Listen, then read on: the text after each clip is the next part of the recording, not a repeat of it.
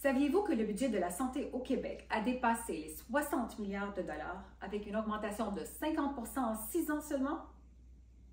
Une situation que le ministre Dubé qualifie d'intenable. Pierre Lavoie l'explique dans la presse ce matin. Il dit ben, on augmente l'espérance de vie, mais on ne travaille pas assez sur la qualité de vie. Alors les constats sont alarmants.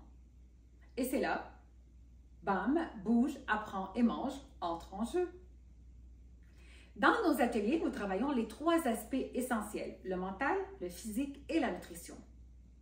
Nous commençons par une conférence axée sur la résilience émotionnelle, par la suite des mouvements pour renforcer notre résilience physique, suivi d'un goûter unique inspiré par la résilience nutritionnelle pendant la guerre civile au Liban, mon pays natal. Oui, j'ai vécu la guerre au Liban quand j'étais jeune. Et c'est très important pour moi ce goûter parce qu'à travers ce goûter, nous développons de la gratitude pour ce qu'on a à table. Reconnectez-vous à travers BAM.